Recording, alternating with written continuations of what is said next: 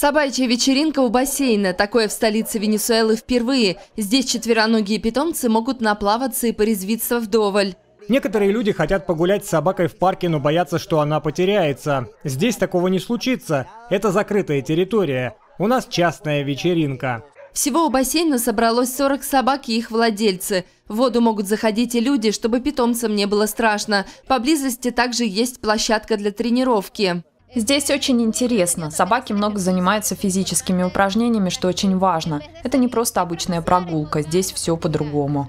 За последние 10 лет в Венесуэле культура содержания собак стала более развитой.